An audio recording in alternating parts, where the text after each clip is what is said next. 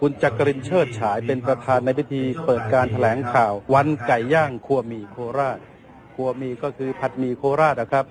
หลังจากแถลงข่าวแล้วครับ งานครัวมีโคราชไม่รับประทานผัดมีโคราชได้อย่างไร มีการแข่งขันครับ ให้เวลา 10 นาที ผัดมีโคราชแบบเนื้อเนื้อเลยนะครับ น้ำหนัก 2 กิโลกรัมมีผู้เข้าแข่งขัน 5 ท่านครับ มีฝรั่งอยู่คนหนึ่งนะครับ ก็คือคุณเอียนแม็กซ์เวย์ครูสอนภาษาอังกฤษชาวอเมริกันครับ และดูครับการแข่งขันเริ่มแล้ว สู้กันเต็มที่ โดยรูปร่างเขาบอกว่าตัวเก่งงานเนี่ยครับมีอยู่สองท่านด้วยกันครูเอียนท่านหนึ่งนะครับ เพราะน้ำหนักตัวตั้งร้อยสามสิบกิโลกรัมและอีกท่านหนึ่งคนไทยครับ คุณกทาวุฒิอาสาชัย รูปร่างก็แม่ไม่ธรรมดาครูเอียนหันไปมองครับผู้ต่อสู้ซึ่งเป็นตัวเก่งนั้นเป็นอย่างไรบ้างแล้วก็ทานแบบไปเรื่อยๆก่อนครับทางฝั่งคุณกทาวุฒิครับ มองเหมือนกันครูเอียนไปถึงไหนแล้ว และเมื่อผ่านไปกิโลครึ่งครับ น้ำหนักนะครับไม่ใช่ระยะทางกองเชียร์ของครูเอียนก็เชียร์เป็นภาษาฝรั่งแหละครับครูด้วยกัน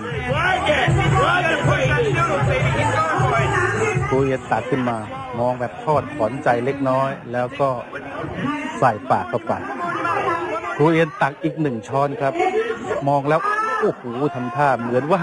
ไอ้ที่เข้าไปแล้วจะออกมาครับ ตัดสินใจไม่เอาดีกว่าครับ แต่ช้อนนี้เข้าไปนี่อีกหลายช้อนจะออกมา ผลปรากฏว่าครูเอียนชนะการแข่งขันครับ ได้รางวัล 3,000 บาท ส่วนคุณพทาวุฒิสองชาพันบาท ครูเอียนตัดสินใจถูกครับใส่เข้าไปอีกช้อนหนึ่งอาจจะไม่ได้แชมป์นอกลู่ต่อมาครับ